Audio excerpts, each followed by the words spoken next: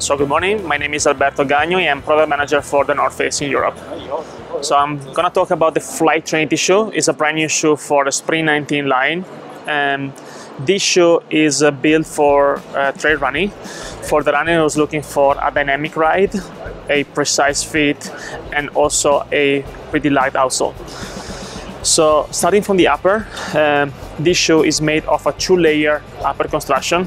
On top you have a ripstop, uh, lightweight ripstop fabrication on the top. And underneath you have a seamless booty construction which is helping you to have a super snug fit. Talking about the outsole, the, the sole, so we have a dual density uh, midsole construction which is proprietary to the North Face. It's called Fast Foam.